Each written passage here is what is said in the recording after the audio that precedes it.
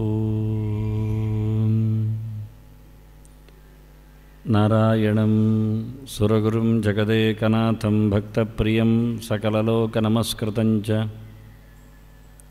त्रैगुण्यवर्जितमजं विभुमाद्यमीशं वन्दे भवग्नम् अमरासुरसिद्धवन्द्यं नारायणं नमस्कृत्य नरं चैव नरोत्तमं देवीं सरस्वतीं व्यासं ततो जयमुदीरयेत् ಧರ್ಮಕ್ಷೇತ್ರೇ ಕುರುಕ್ಷೇತ್ರೇ ಸಮವೇತಾಯ್ಯುತ್ಸವ ಮಾಮಕಾ ಪಾಂಡವಶ್ಚೈವ ಕಿಮಕುರುವತ ಸಂಜಯ ಶ್ರೀ ಗುರುಭ್ಯೋ ನಮಃ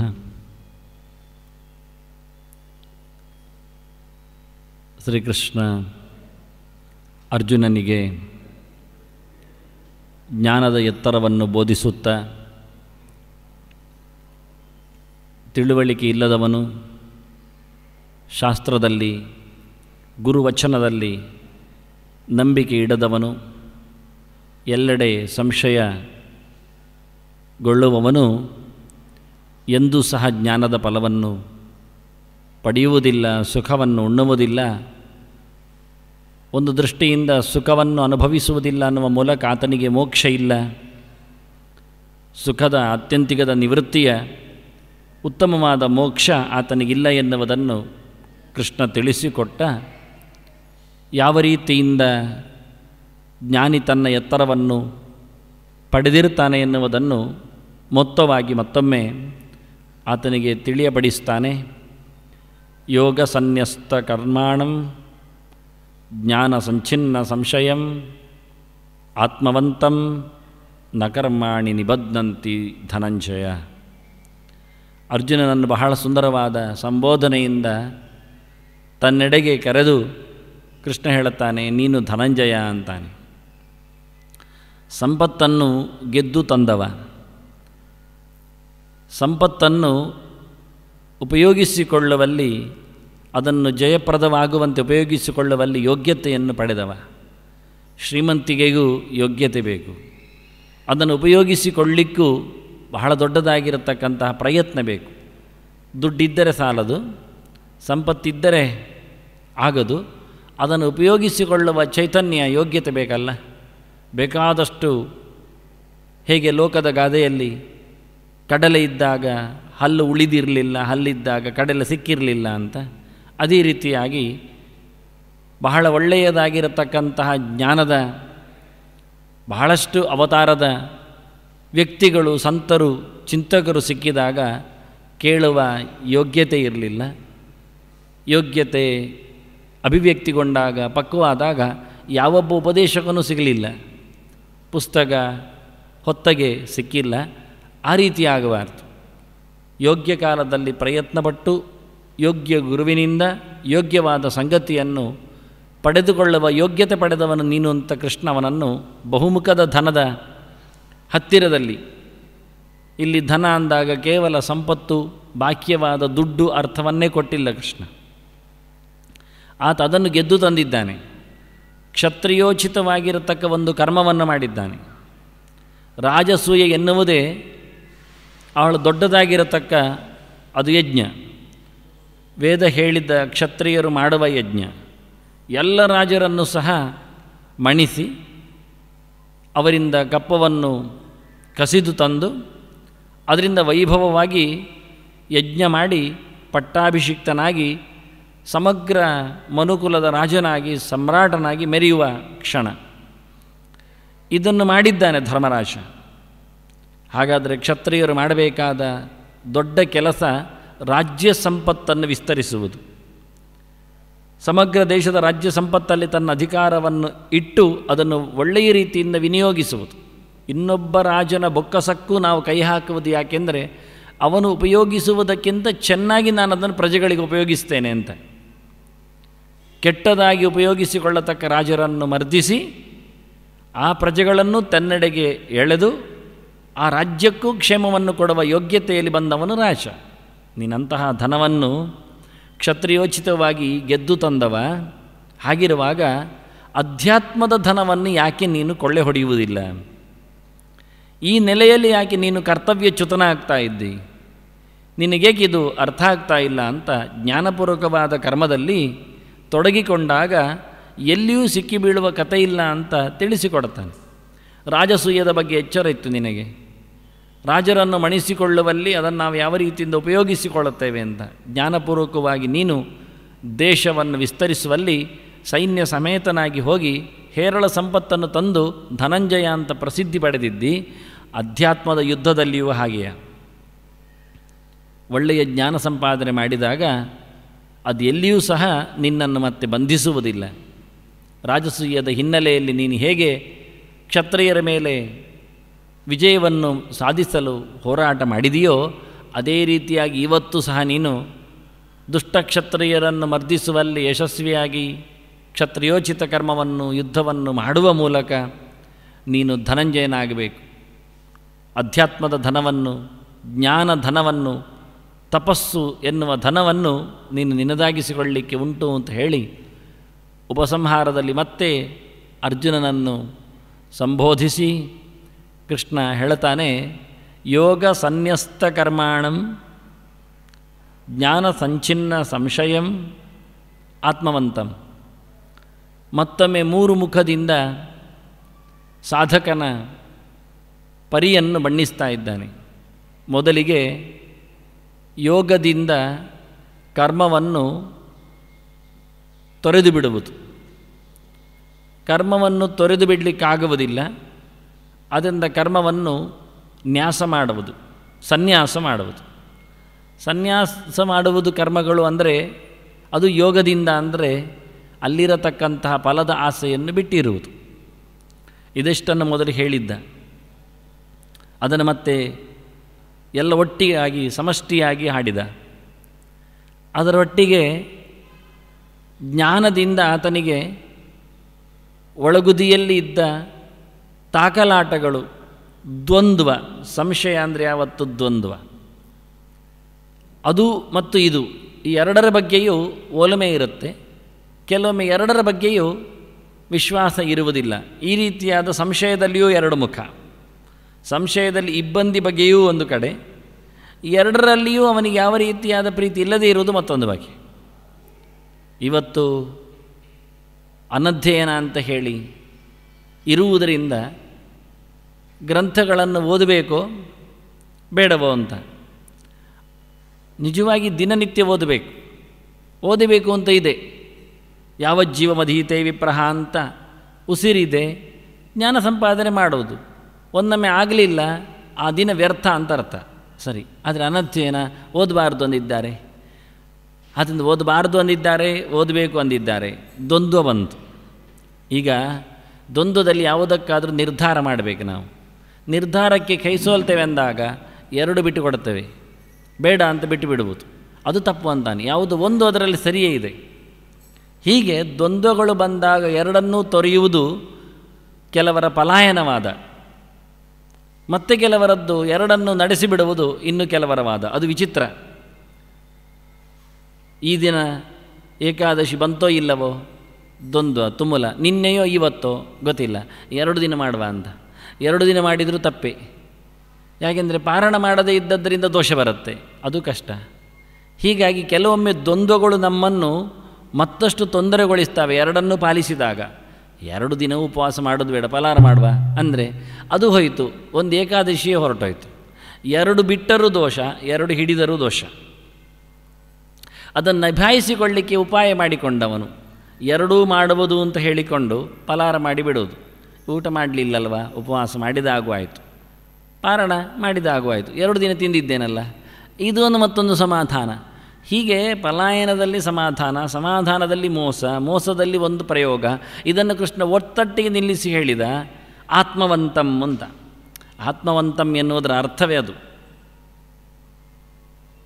ಸಂಶಯವನ್ನು ಜ್ಞಾನದಿಂದ ಕಡಿದ ನಂತರದಲ್ಲಿ ಒಂದು ಕಡೆಗೆ ಅವನು ವಾಲಿರುವುದು. ತನ್ನನ್ನು ಒಂದು ಕಡೆಯಲ್ಲಿ ನೋಡಿರುವುದು. ಅದಕ್ಕೆ ಮನಸ್ಸು ಗಟ್ಟಿ ಮಾಡಿಕೊಳ್ಳುವುದು. ಅವಧಾನ ಕೊಡುವುದು. ನಮಗೆ ಯಾವುದರಲ್ಲಿಯೂ ಸಾವಧಾನ ಚಿತ್ತತೆ ಇಲ್ಲ. ಯಾವತ್ತು ನೋಡಿದ್ದು ಪ್ರಮಾದವೇ. ಆತ್ಮ ಅಂದ್ರೆ ಈಗ ಮನಸ್ಸು ಒಂದು ಅರ್ಥ ಮಾಡುವ ಮೊದಲಿಗೆ. ಮನಸ್ಸು ಒಂದು ಅರ್ಥ ಮಾಡಿದಾಗ ಮನಸ್ಸು ಉಳ್ಳವನು ಅಂತ ಯಾರಿಗೆ ಮನಸ್ಸಿಲ್ಲ? ಎಲ್ಲರಿಗೂ ಮನಸ್ಸಿದೆ. ಆತ್ಮ ಅಂತ ದೇಹ ಅರ್ಥ ಮಾಡಿದರು ಎಲ್ಲರಿಗೂ ದೇಹ ಇದೆ. ದೇಹದ ಅಭಿಮಾನ ಉಳ್ಳವನು ಅಂತ ಮಾಡಿದರೆ ಹೊರಟೋಯ್ತು. ಕೃಷ್ಣ ದೇಹಾಭಿಮಾನ ಬಿಡಬೇಕು ಅಂದ. ಅದರಿಂದ ಮನಸ್ಸಿನ ಅಭಿಮಾನ ಇರಬೇಕು ಅಂತಾನೆ. ಮನಸ್ಸು ಬೇಕು. ನೀನು ಮನಸ್ವಿ ಆಗಬೇಕು ಮನಸ್ಸಿಟ್ಟು ಕರ್ತವ್ಯವನ್ನು ನಡೆಸಿಕೊಡಬೇಕು. ಮನಸ್ಸು ಇಲ್ಲದೆ ಕೆಲಸ ಮಾಡುವುದನ್ನು ನಾವು ಅಸಡ್ಡೆ, ಅಶ್ರದ್ಧೆ ಅಂತಲೂ ಅಂತೇವೆ. ಹಾಗಾಗಿ ಯಾರು ಮನಸ್ವಿಯಾಗಿ, ಮನಸ್ಸಿನಲ್ಲಿ ಬರತಕ್ಕಂಥ ಎಲ್ಲ ಭಾವತುಮಳಗಳನ್ನು ಗೆದ್ದು ಒಪ್ಪಿಕೊಂಡು ನಡೆಸ್ತಾನೋ, ಅದಕ್ಕೇನು ಹೇಳ್ತಾರೆ ಅಂದರೆ, ಮನಸ್ಸು ತಪ್ಪದೇ ಇರುವುದು ಅಂತಾರೆ. ಆತ್ಮವಾನ್ ಹೇಳಿದರೆ, ತನ್ನ ಮನಸ್ಸು ತನ್ನ ಕೈಯಲ್ಲಿ ಇದೆ ಅಂತ ಅರ್ಥ. ಇಂದ್ರಿಯ ನಿಗ್ರಹ ಉಂಟು ಅಂತ ಹೇಳುವವನಿಗೆ ಆತ್ಮವಾನ್ ಹೇಳುವುದು. ಅಂಥವನು ಯಾವತ್ತೂ ಸಹ ಅಪ್ರಮತ್ತನಾಗದೆ, ಎಲ್ಲಿಯೂ ಸಹ ತನ್ನ ತಲೆಯಲ್ಲಿ ಪ್ರಮಾದವನ್ನು ನಡೆಸಿಕೊಡದೆ ಗೆಲ್ತಾನೆ. ಆದ್ದರಿಂದ ಒಂದು ದೃಷ್ಟಿಯಿಂದ ಆತ್ಮವಾನ್ ಹೇಳಿದರೆ ಅವನು ಅಪ್ರಮತ್ತ ಅಂತ ಅರ್ಥ. ಹೆಚ್ಚು ಕಡಿಮೆ ಮಾಡಿಕೊಳ್ಳದವ ಅಂತ ಅರ್ಥ.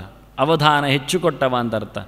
ಗಟ್ಟಿ ಮನಸ್ಸು ಮಾಡಿ ಏನು ಹೇಳುತ್ತೇವೆ ಅದೇ ಆತ್ಮವಾನ್ ಹೇಳೋದು ಆತ್ಮವಂತಂ ಗಟ್ಟಿ ಮನಸ್ಕನನ್ನು ಯಾವತ್ತೂ ಸಹ ಕರ್ಮಗಳು ಪೀಡೆ ಮಾಡುವುದಿಲ್ಲ ಅಂದು. ಮಾಡುವುದರಲ್ಲಿ ಹೇಗೆ ಮಾಡಬೇಕು, ಹೇಗೆ ಮಾಡ್ತಾ ಇದ್ದೇನೆ ಎನ್ನುವುದರ ಬಗ್ಗೆ ತಿಳಿಯಾದ ವ್ಯವಸ್ಥೆಗಳನ್ನು ಮಾಡಿಕೊಂಡು ಧುಮುಕುವವ, ಮುಂದಡಿ ಇಡುವವ, ಸಂಶಯಗ್ರಸ್ತನು ಯಾವತ್ತೂ ಒಂದು ಹೆಜ್ಜೆಯೂ ಮುಂದಿಡುವುದಿಲ್ಲವ. ಸಂಶಯಗ್ರಸ್ತನು ಹೆಚ್ಚಾಗಿ ಹಿಂದೇಟು ಹಾಕುವುದು ಜಾಸ್ತಿ, ಸಂಶಯದ ಕೆಲಸ ಮಾಡುವುದು ಮುಂದೆ ನುಗ್ಗುವಂತೆ ಮಾಡುವುದೇ ಇಲ್ಲ. ಅದು ಜಾರುವಂತೆ ಮಾಡುತ್ತೆ. ಅದನ್ನ ಜ್ಞಾನದಿಂದ ಸಂಶಯವನ್ನು ತಳೆದು ಗಟ್ಟಿ ಮನಸ್ಕನಾಗಿ ಗಟ್ಟಿ ನೀನು ಕೆಲಸದಲ್ಲಿ ತೊಡಗಬೇಕು ಅಂತಾನೆ. ಹಾಗಾದರೆ ಕೆಲಸ ಬಿಡುವುದಲ್ಲ, ಕೆಲಸ ಮಾಡುವುದು. ಅದರ ಕೆಲಸ ಮಾಡುವಲ್ಲಿ ಜ್ಞಾನವನ್ನು ಗಟ್ಟಿ ಮಾಡುವುದು. ನನಗಾಗಿ ಮಾಡಲಿಲ್ಲ. ನನಗಾಗಿ ಮಾಡಿದ್ದು ಅಲ್ಲ. ಎನ್ನುವ ನೆಲೆಯಲ್ಲಿ ಆತ್ಮವಾನ್, ಆತ್ಮ ಅಂದರೆ ಪರಮಾತ್ಮ, ಭಗವಂತ. ದೇವರಿಗಾಗಿ ದುಡಿದಿದ್ದೇನೆ ಎನ್ನುವ ಎಚ್ಚರ. ದೇವರ ಪ್ರೀತಿಯಾಗಲಿ ಎನ್ನುವ ನೆಲೆಯಲ್ಲಿ ಮಾಡಿದವ, ತನ್ನ ಕರ್ಮದ ಫಲವನ್ನೆಲ್ಲ ಭಗವಂತನಿಗೆ ಒಪ್ಪಿಸುವವ, ಅವನು ನಿಜವಾಗಿ ಆತ್ಮವಾನ್. ಆತ್ಮವಾನ್ ಅಂದರೆ ಆತ್ಮನು, ಭಗವಂತನು ಯಾರಿಗೆ ಉಳ್ಳವನು ಅಂತ. ನಾವು ಶ್ರೀಮಾನ್ ಅಂತ ಹೇಳ್ತೇವೆ. ಶ್ರೀಮಾನ್ ಹೇಳಿದರೆ ದುಡ್ಡು ಉಳ್ಳವನು ಅಂತ ಅರ್ಥ. ದುಡ್ಡು ಉಳ್ಳವನು ಅಂತ ಹೇಳಿದರೆ ಏನು ಅರ್ಥ ಆಗುತ್ತೆ? ಎಲ್ಲರಲ್ಲಿಯೂ ದುಡ್ಡಿದೆ. ಅದನ್ನ ಶ್ರೀಮಾನ್ ಅಂದರೆ ಯಾರಿಗೆ ಹೇರಳವಾಗಿ ಖರ್ಚು ಮಾಡುವ ಹಾಗೆ ಬೇಕಾದಷ್ಟು ಅದರ ಮೇಲೆ ತನ್ನ ಪ್ರಭುತ್ವವನ್ನು ಸ್ಥಾಪಿಸುವಂತೆ ಸಂಪತ್ತುಂಟೋ, ಅದರ ವಿಶೇಷದ ಅನುಗ್ರಹಕ್ಕೆ ಯಾರು ಪಾತ್ರನೋ, ಲಕ್ಷ್ಮೀ ಕೃಪಾ ಕಟಾಕ್ಷಕ್ಕೆ ಯಾರು ಬದ್ಧನೋ, ಅವನು ಶ್ರೀಮಂತ. ಹಾಗೆ ಆತ್ಮವಾನ್ ಅಂದರೆ ಆತ್ಮವುಳ್ಳವನು. ಎಲ್ಲರಿಗೂ ದೇವರಿದ್ದಾರೆ. ಎಲ್ಲರೂ ದೇವರನ್ನು ನೋಡಿದವರೇ, ದೇವರು ನೋಡುವವರೇ. ಅಂದರೆ ಏನು? ಯಾರು ದೇವರ ಮೇಲೆ ಭಾರವನ್ನು ಹಾಕಿ, ಯಾರು ಭಗವಂತನ ಪ್ರಸಾದಕ್ಕೆ ಪೂರ್ತಿ ಬದ್ಧರಾಗಿದ್ದಾರೋ, ಅವರು ನಿಜವಾಗಿ ಆತ್ಮವಾನ್, ಆತ್ಮವಂತರು. ಅದರಿಂದ ಹಣವಂತರು ಅಂತ ನಾವು ಕಿಸೆ ಮುಟ್ಟಿ ಎಲ್ಲರಿಗೂ ಹೇಳಬಹುದು, ಹಣವಂತರು ಅಂತ. ಮಾನವಂತರು ಅದು ಹೇಳಬಹುದು, ಗುಣವಂತರು ಹೇಳಬಹುದು, ಎಲ್ಲ ಹೇಳಲಿಕ್ಕೆ ಬರುತ್ತೆ, ಆದರೆ ಯಾವುದೂ ಅಲ್ಲ. ದೊಡ್ಡ ಪ್ರಶ್ನೆ ಹಾಕಿದ್ದ ವಾಲ್ಮೀಕಿ ನಾರದರ ಹತ್ರ ಆವತ್ತು, ಗುಣವಾನ್ ಕಷ್ಟ ವೀರ್ಯವಾನ್ ಅಂತ, ಯಾರಯ್ಯ ಲೋಕದಲ್ಲಿ ಕೋನ್ವಸ್ಮಿನ್ ಸಾಂಪ್ರತಂ ಲೋಕೆ, ಈಗ ಲೋಕದಲ್ಲಿ ನೋಡಿಕೊಂಡು ಹೋದರೆ ನಾವು ಒಬ್ಬ ಗುಣವಂತ, ಒಬ್ಬ ವೀರ್ಯವಂತನನ್ನು ಹುಡುಕುವುದು ಹೇಗೆ? ಯಾರು ಇರಬೇಕು ಅಂದ ಅದಕ್ಕೆ ರಾಮನ ಚರಿತೆಯನ್ನು ಹೇಳುತ್ತೇನೆ ಹೇಳಿ ರಾಮನ ಬಗ್ಗೆ ದೃಷ್ಟಾಂತ ಕೊಟ್ಟು ಮಾತಾಡಿದ. ಒಂದೊಮ್ಮೆ ಗುಣವಾನ್, ವೀರ್ಯವಾನ್ ಎಲ್ಲ ನಾವೆಲ್ಲ ಅಂತ ಹೇಳಿಬಿಟ್ರೆ ಅರ್ಥ ಎಲ್ಲಿದೆ? ಆದ್ದರಿಂದ ಒತ್ತು ಪ್ರತ್ಯಯಕ್ಕೆ ಉಳ್ಳವನು ಎನ್ನುವ ಅರ್ಥದಲ್ಲಿ ಇದ್ದೇ ಅಂತ ಹೇಳಿದರೆ ಅದು ಪೂರ್ತಿ ಬೆಂಬಲದಲ್ಲಿ ಇದೆ ಅಂತ ಅರ್ಥ. ಉಪಯೋಗಕ್ಕೆ ಇದೆ ಅಂತ ಅರ್ಥ. ಜ್ಞಾನ ಉಂಟು ಹೇಳಿದರೆ ಅದು ಉಪಯೋಗಕ್ಕೆ ಬರುವಾಗಿದ್ದರೆ ಉತ್ತಮವಾಗಿದ್ದರೆ ಅದು ನಿಜವಾಗಿ ಹೌದು. ಹೇ, ಹೇರಳವಾಗಿದ್ದರೆ ಹೌದು. ಶ್ರೀಮಂತನ ಹಾಗೆ ಅದನ್ನು ಆತ್ಮವಾನ್ ಹೇಳುವಾಗ ಆತ್ಮವಂತಂ ನಕರ್ಮಾಣಿ ಕರ್ಮಾಣಿ ನಿಬದ್ಧಂತಿ ಅಂದ ಕೃಷ್ಣ. ಯಾರು ಪರಮಾತ್ಮನ ಮೇಲೆ ಭರವಸೆಯಿಂದ ಇದ್ದಾನೆ, ಯಾರು ಭಗವಂತನ ಎಚ್ಚರದಲ್ಲಿದ್ದಾನೆ, ಯಾರಿಗೆ ಭಗವಂತ ಪ್ರಿಯನಾಗಿ ನಿಂತಿದ್ದಾನೆ, ಅವನು ನಿಜವಾಗಿಯೂ ಕರ್ಮ ಸಾಮ್ರಾಜ್ಯದಲ್ಲಿ ಸೋಲುವುದಿಲ್ಲ. ಕರ್ಮ ಸಂತಾನದಲ್ಲಿ ಸೋರಿ ಹೋಗುವುದಿಲ್ಲ. ಅವನು ಯಾವುದೇ ರೀತಿಯಾದ ಕರ್ಮಗಳು ಬಂಧನಕ್ಕೆ ಸಿಲುಕುವುದಿಲ್ಲ ಅಂತಾನೆ, ಕಟ್ಟಿ ಹಾಕುವುದಿಲ್ಲ. ನ ನಿಬದ್ನಂತಿ ಧನಂಜಯ. ಎಂತಹ ವ್ಯಕ್ತಿ ಅಂತಹ ಭಗವಂತನಿಗೆ ಪ್ರಿಯವಾಗತಕ್ಕಂತಹ ಭಾವ ಬರಬೇಕಾದರೆ ಅವನು ಏನು ಮಾಡಬೇಕು? ಅದಕ್ಕೆ ಹಿಂದಿನದ್ದು ಎರಡು ವಿಶೇಷನ ಕೊಟ್ಟ. ಮೊದಲಿಗೆ ಜ್ಞಾನ ಸಂಪಾದನೆ ಮಾಡಬೇಕು. ಎಷ್ಟು ಜ್ಞಾನ ಸಂಪಾದನೆ ಮಾಡಬೇಕು ಅಂದರೆ ಎಷ್ಟು ಸಂಶಯಗಳು ಹೋಗಲಿಕ್ಕೆ ಬೇಕೋ ಅಷ್ಟು. ಸಂಶಯದ ನಿರಾಸ ಆಗುವವರೆಗೂ ಅಭ್ಯಾಸವನ್ನು ಮಾಡಬೇಕು. ಜ್ಞಾನ ಸಂಚಿನ್ನ ಸಂಶಯಮಂದ್ರು ಅದು ಕೇವಲ ಚಿನ್ನ ಆಗುವುದಲ್ಲ, ಸಂಪೂರ್ಣ ಚಿನ್ನ ಆಗಬೇಕು, ಸಂಚಿನ್ನ. ಮತ್ತೆ ಉಳಿದುಕೊಳ್ಳಬಾರದು. ಸಂಶಯ, ಲೇಷ ಇದ್ದರೂ ಜ್ಞಾನದಲ್ಲಿ ಪ್ರವೃತ್ತಿ ಎನ್ನುವುದು ಕುಂಠಿತ ಆಗುತ್ತೆ. ಅಲ್ಪ ಆಗುತ್ತೆ, ಭರವಸೆ ಕಮ್ಮಿ ಆಗುತ್ತೆ. ಫಲದ ಮೇಲೆ ಯೋಚನೆ ಬರುತ್ತೆ. ಅದಕ್ಕೋಸ್ಕರ ಮೊದಲು ಮಾಡಿದ ಜ್ಞಾನದ ಮಡುವಾಗಬೇಕು. ಭಗವಂತನ ಅರಿವನ್ನು ಚೆನ್ನಾಗಿ ಸಂಪಾದನೆ ಮಾಡಬೇಕು ಮಾಡಿಕೊಂಡು ಒಳಗೆ ಮಡುಗಟ್ಟಿದ ಅಜ್ಞಾನಗಳನ್ನು ನಿವೃತ್ತಿಗೊಳಿಸಬೇಕು. ಪ್ರಧಾನವಾಗಿ ನಮ್ಮನ್ನು ಕೆಡಿಸುವ ಸಂಶಯವನ್ನು ದೂರ ಮಾಡಿಕೊಳ್ಬೇಕು. ಪ್ರತಿಯೊಬ್ಬರಲ್ಲಿಯೂ ಬರತಕ್ಕ, ಕಾಡತಕ್ಕ ದೊಡ್ಡ ಸಮಸ್ಯೆ ಅಂದರೆ ಅವ್ರು ಹೇಳಿದ್ದು ಸರಿ ಅಂತ ಕಾಣ್ತದೆ ಚೆನ್ನಾಗಿ ಇರ್ತದೆ. ಕೇಳುವ ಹಾಗೆ ಇರ್ತದೆ. ಇನ್ನೊಬ್ಬರು ಹೇಳಿದರು, ಅದು ಸರಿ ಅಂತ ಕಾಣುತ್ತೆ. ಅದು ಚೆನ್ನಾಗಿರ್ತದೆ ಆದ್ದರಿಂದ ಅವರಿಗೆ ಸಂಶಯ ಬರುತ್ತೆ. ಹೌದಲ್ಲ? ಅದು ಲಲಿತಾ ಸಹಸ್ರನಾಮ ಹೇಳುವ, ಅಲ್ಲ ಲಕ್ಷ್ಮೀ ಸಹಸ್ರನಾಮ ಹೇಳುವ, ಅಲ್ಲ ವಿಷ್ಣು ಸಹಸ್ರನಾಮ ಹೇಳುವ, ಅಲ್ಲ ಗೀತೆ ಪಾರಾಯಣ ಮಾಡುವ, ಇಲ್ಲ ಕೇವಲ ಭಜನೆ ಮಾಡುವ, ಆ ಮಂತ್ರ ಜಪಿಸುವ, ಈ ಮಂತ್ರ ಮಾಡುವ ಜಪ, ಅವನಿಗೆ ಸುತ್ತು ಬರುವ, ಇವನಿಗೆ ಎಣ್ಣೆ ಹಾಕುವ, ಇಲ್ಲಿ ಪಂಚಾಯಜ್ಜಾಯ ಸೇವೆ ಕೊಡುವ, ಇಲ್ಲಿ ಹೂವಿನ ಪೂಜೆ ಮಾಡುವ, ಇಂಥ ತುಮುಲದಲ್ಲಿ ಅವರು ಮುನ್ನೂರ ಅರವತ್ತೈದು ದಿವಸವೂ ಪ್ರಯೋಗ ಮಾಡ್ತಾ ಇದ್ದಾರೆ. ಬದುಕಿನುದ್ದಕ್ಕೆ ಪ್ರಯೋಗದಲ್ಲಿ ಆಯಿತು ಅವರದ್ದು ಪಾರಾಯಣ. ಉಪಯೋಗ ಏನಾಯಿತು ಕೇಳಿದರು? ಯಾಕೆ? ಅವರು ಹೇಳುವಾಗ ಅದು ಹೌದು ಅಂತ ಕಂಡಿತು. ಒಬ್ಬರು ಹೇಳುವಾಗ ಬಹಳ ಚೆಂದ ಕಂಡಿತು. ಎಲ್ಲರಿಗಿಂತಲೂ ಮೊದಲಿರುವುದು ತಾಯಿಯೇ ಅಲ್ವಾ?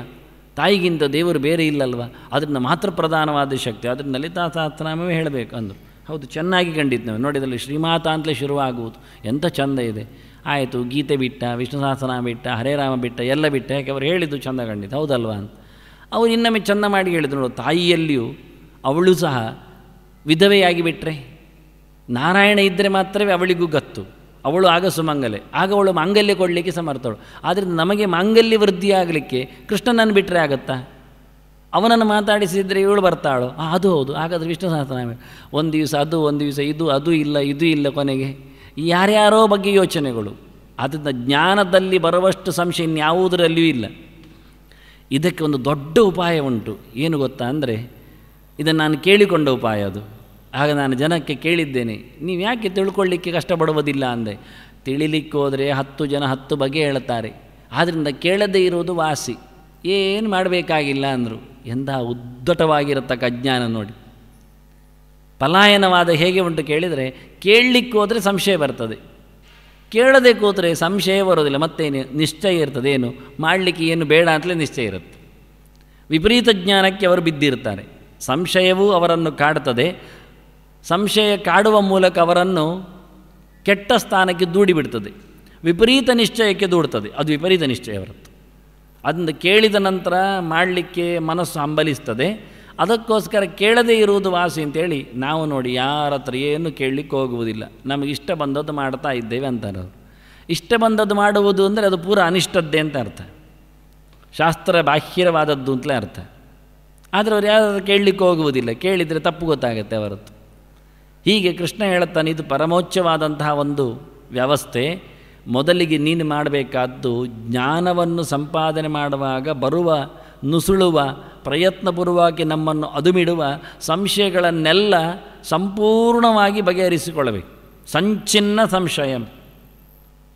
ಒಂದು ಸ್ವಲ್ಪ ಸಂಶಯಗಳು ಬಂದರು, ದೇವತಾ ವಿಷಯ, ಸಾಧನ ವಿಷಯ, ಎಲ್ಲದರಲ್ಲಿಯೂ ಹೇಗೆ ಮಾಡಬೇಕು, ಯಾರನ್ನು ಸಂತೋಷಗೊಳಿಸಬೇಕು ಎನ್ನುವ ವಿಷಯಗಳಲ್ಲಿ ಎಲ್ಲದರಲ್ಲಿಯೂ, ಪ್ರತಿಯೊಂದು ಹಂತದಲ್ಲಿಯೂ ಬರತಕ್ಕ ಸಂಶಯಗಳನ್ನು ಪೂರ ನಿವೃತ್ತಿ ಮಾಡಿಕೊಂಡರೆ ಅವನಿಗೆ ಆತ್ಮಲಬ್ಧಿ ಆಗ್ತದೆ, ಆತ್ಮವಂತ ಮತ್ತು ಪರಮಾತ್ಮನ ಲಬ್ಧಿ ಆಗಲಿಕ್ಕೆ ಕಾರಣ, ಮನಸ್ಸು ಗಟ್ಟಿಯಾಗುವುದು ಯಾವಾಗ ಅಂದರೆ ಮನಸ್ಸಿನಲ್ಲಿರತಕ್ಕ ಕಿರಿಕಿರಿ ಹೋಗಬೇಕು. ಸಂಶಯವೇ ಮನಸ್ಸಿನ ದೊಡ್ಡ ಕಾಡುವ ಒಂದು ಪ್ರಾಣಿ. ಅದನ್ನು ಹೊರಗೆ ಹಾಕದೇ ಇದ್ದರೆ ಆ ಕೀಟವನ್ನು, ಮನಸ್ಸನ್ನು ಕೊರೆಯುವ ಕೀಟವನ್ನು ನಿಜವಾಗಿ ಹೊರಗೆ ಹಾಕದೇ ಇದ್ದರೆ ನಿಜವಾಗಿ ನಾವು ತಿನ್ನುವ ಆಹಾರ ನಮಗೆ ಉಪದ್ರ ಕೊಡುವುದಿಲ್ಲ. ಮತ್ತೆ ಹೊಟ್ಟೆಯಲ್ಲಿ ಹುಣ್ಣು ಆಗುವುದು ಯಾವುದು ಕೇಳಿದರೆ, ಯಾವುದು ಹೊಟ್ಟೆಯನ್ನು ತಿನ್ನುತ್ತೋ ಆ ಆಹಾರ. ನಾವು ತಿಂದ ಆಹಾರ ಹೊಟ್ಟೆಯನ್ನು ಹುಣ್ಣು ಮಾಡುವುದಿಲ್ಲ, ಹೊಟ್ಟೆಯನ್ನು ತಿನ್ನುವ ಆಹಾರ ಹೊಟ್ಟೆಯಲ್ಲಿ ಹುಣ್ಣು ಮಾಡುತ್ತೆ. ಯಾವಾಗಲಾಗಿ ಪರಿಸರ ಎಲ್ಲಿ ನಮ್ಮನ್ನು ತಿನ್ನುತ್ತೆ, ಅಲ್ಲಿ ನಾವು ಹಾಳಾಗ್ತೇವೆ. ಕೆಲವರು ಕಿವಿ ತಿಂತಾರೆ, ಕೆಲವರು ಕಿಸೆ ತಿಂತಾರೆ, ಒಬ್ಬೊಬ್ಬರು ಒಂದೊಂದು ರೀತಿಯಿಂದ ಒಬ್ಬೊಬ್ಬರನ್ನು ತಿಂತಾರೆ. ಅದನ್ನ ಮೊದಲು ಹೇಳಿದ, ನೀನು ಆತ್ಮವಾನ ಆಗು ಅಂತ. ಹೇಳುವವರು ಬದುಕ್ತಾರೆ ಯಾವಾಗ? ಕೇಳುವವರು ಕಿವಿ ಕೊಟ್ಟಾಗ. ಕಿವಿಯೇ ಇಲ್ಲ ಅಂತಾದರೆ ಹೇಳುಗರು ಹೇಳಲಿಕ್ಕೆ ಆಗುವುದಿಲ್ಲ. ನಮಗೆ ಆತ್ಮತ್ವ ಇಲ್ಲ. ನಮ್ಮತನ ನಮ್ಮಲ್ಲಿ ಇಲ್ಲ. ನಾವು ಮೊದಲು ಭಗವದ್ ಎಚ್ಚರಗೊಳ್ಳಬೇಕು, ನಮ್ಮನ್ನು ನಾವು ಇಟ್ಟುಕೊಳ್ಳಬೇಕು. ಯಾರಿಗೋಸ್ಕರ ನಾವು ಬದುಕುವುದಲ್ಲ, ನಾವು ನಮಗಾಗಿ ಬದುಕುವುದು. ನಾವು ನಮ್ಮ ದೇವರಿಗಾಗಿ ಬದುಕುವುದು. ನಮ್ಮ ದೇವರ ಎಚ್ಚರಕ್ಕಾಗಿ ನಾವಿರುವುದು. ಇದನ್ನು ನಾವು ಸಂಪಾದನೆ ಮಾಡಿಕೊಂಡ್ರೆ ಇವತ್ತು ಸಂಘೆ, ಶಕ್ತಿ, ಕಲವು, ಯುಗೆ ಅಂತ ಹೇಳ್ತಾ ಸಾಂಘಿಕವಾಗಿಯೇ ನಾವು ಸೋರಿ ಹೋಗ್ತಾ ಇದ್ದೇವೆ. ಸಂಘ ಬೇಳೆ ತನ್ನದು ಬೇಯಿಸಿಕೊಳ್ಳುತ್ತದೆ. ವ್ಯಕ್ತಿ ನಗಣ್ಯ. ನೀನಲ್ಲಾದರೆ ಪಕ್ಕದ ಮನೆಯವರು ಬರ್ತಾರೆ ಅಂತದ್ದು. ಅದಕ್ಕೆ ಜನ ಬೇಕು. ವಸ್ತು ಬೇಡ. ಅದರಲ್ಲಿ ಸೋಲುವುದು ನಾವೇ. ಸಂಘದಿಂದ ಯಾವ ಲಾಭ ನಮಗಾಗುವುದಿಲ್ಲ. ಪ್ರದರ್ಶನ ಆಗಬಹುದು. ಇಷ್ಟು ಜನ ಇದ್ದಾರೆ. ಅವರೊಂದು ಲಾಕೆಟ್ ಕೊಟ್ಟಾರು. ಅವರೊಂದು ಯಾವುದಾದ್ರೂ ಒಂದು ಉಪಕಾರಕ್ಕೆ ವಸ್ತು ಕೊಟ್ಟಾರೋ, ಅದನ್ನು ತನ್ನ ಮನೆಯಲ್ಲಿ ಸುತ್ತ ಇಡಲಿಕ್ಕಾಗತ್ತೆ. ಅದನ್ನು ಯಾವುದೋ ಒಂದು ಪಾತ್ರೆ, ಅಂಗಡಿ ಏನು ತಗೊಂಡ್ರೆ ಬಾಣಾಲೆ ಕೊಡುವುದು ಅಂತ ಮಾಡಿತ್ತು.